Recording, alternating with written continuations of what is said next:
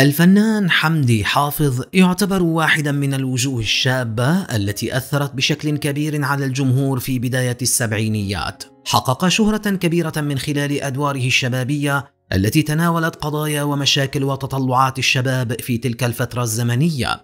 دور عفت الذي جسده في مسلسل ليالي الحلمية بجزئه الثاني والذي أخرجه إسماعيل عبد الحافظ وكتبه أسامة أنور عكاشة كان أحد أبرز الأدوار في حياته الفنية. في هذا المسلسل جسد شخصية الشاب الانتهازي الذي تزوج نازك السلحدار والتي قامت بتجسيدها الفنانة صفية العمري. بالإضافة إلى مسيرته الفنية كممثل، قام حمدي حافظ بالانتقال أيضا إلى صناعة السينما، حيث أنتج ثلاثة أفلام سينمائية، ثم في وقت لاحق قرر التفرغ للمسلسلات الدينية، وبفضل إسهاماته الفنية المتنوعة يعتبر واحدا من نجوم السبعينيات الذين تألقوا بأدوار الشباب المراهق وساهموا في الثقافة الفنية المصرية. في هذا الفيديو من قناة قصة حياة نستعرض وإياكم المعلومات والمحطات الفنية والشخصية في حياة الفنان حمدي حافظ. ولد نجمنا في مدينة طنطا بمحافظة الغربية في الثلاثين من نوفمبر من عام 1948 واسمه الكامل حمدي محمد عبد الحافظ.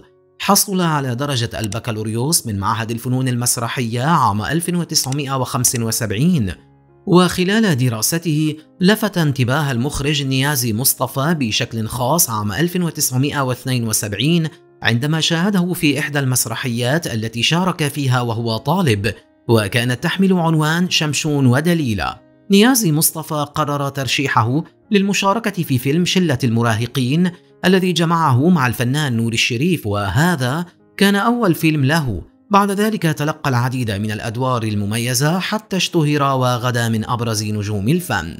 في السبعينيات انتقل إلى مجال الإنتاج السينمائي بنجاح لينتج العديد من الأفلام لكنه في نهاية المطاف تعرض لخسائر مادية كبيرة بعد إنتاج فيلمه الثالث مما اضطره لاتخاذ قرار بالتوقف عن الإنتاج. وفي التسعينيات اتجه إلى الأعمال الدينية ليشارك في مسلسل تاريخي ديني بعنوان عمر بن عبد العزيز عام 95 وبعده اعتزل الفن نهائيا. وقد دخل هذا القرار في خطى فنانين آخرين مثل فريد شوقي وأنور وجدي الذين انتقلوا من مجال التمثيل إلى مجال الإنتاج. قرر الفنان حمدي حافظ اعتزال مجال الفن واختفى عن الأضواء بسبب تحوله نحو الالتزام الديني. وفي تصريحات صحفية سابقة أشار إلى أن هذا القرار بدأ يتشكل لديه عندما شارك في عمل فني مع الفنان شكري سرحان وأصر هذا الأخير على دعوته لأداء الصلاة. في البداية قبل حمدي هذه الدعوة تحت ضغط وتوتر لأنه لم يكن يصلي ولكن تدريجيا بدأ يشعر بتأنيب الضمير عندما يتجاهل الصلاة وشعر بأنه يستعيد سلامه الداخلي فقط من خلال آدائها. بالتوازي مع هذه التجربة بدأ نجمنا يزور منزل الشيخ عبد الحميد كوشوك ويتعلم من دروسه ومواعظه. وكان الشيخ يهتم بتوجيهه وتعزيز العلاقة بينهما. كان معجبا ببعض أعماله وأكد له أن الفن ليس حراما ما لم يستخدم كوسيلة لارتكاب المحرمات.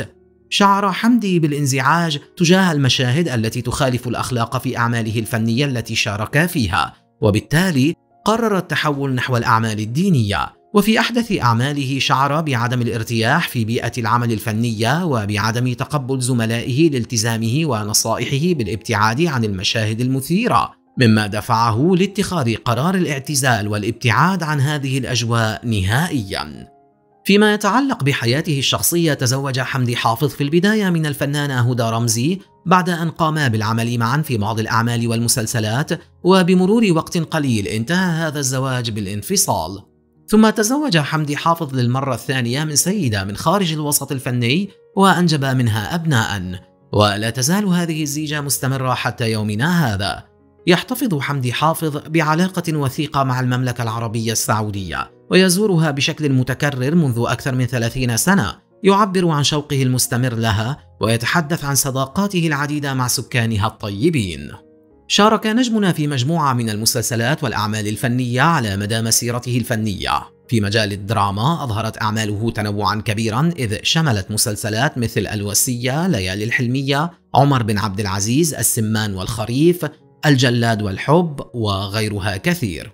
في مجال السينما شارك في عدة أفلام مثل دخان بلا نار، مدرسة المراهقين، المنحرفون، أين تخبئون الشمس، سيقان في الوحل، ومضى قطار العمر، شلة المراهقين وغيرها من الأفلام. كما قدم حافظ أيضا عروضا مسرحية وعلى الرغم من أنها كانت عبارة عن مسرحيات تلفزيونية قصيرة للتصوير خلال يوم واحد إلا أنه أدى دورا في ثلاث مسرحيات بتونس تم إخراجها من قبل السيد راضي بالإضافة إلى مشاركته في مسرحية الزوبعة مع الفنانة أمينة رزق. في عام 2020 أعلن الفنان حمدي حافظ عزمه على العودة إلى الفن بعد اعتزال دام 26 عاماً. أعرب عن رغبته في استكشاف ذاته من جديد خصوصا أنه في مرحلة عمرية مختلفة الآن. وقد تحدث عن الأسباب التي تجعل الممثلين يبتعدون عن التمثيل سواء كانت أسبابا شخصية تعود للممثل نفسه أو حاجة مالية أو حتى عشق للتمثيل.